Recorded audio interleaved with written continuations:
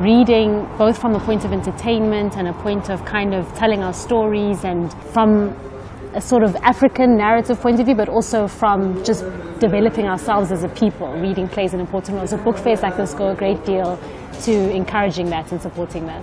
So I think we need to make books cheaper. We need to um, look at the value chain and kind of disrupt some of the monopolies that exist there and make books much more accessible.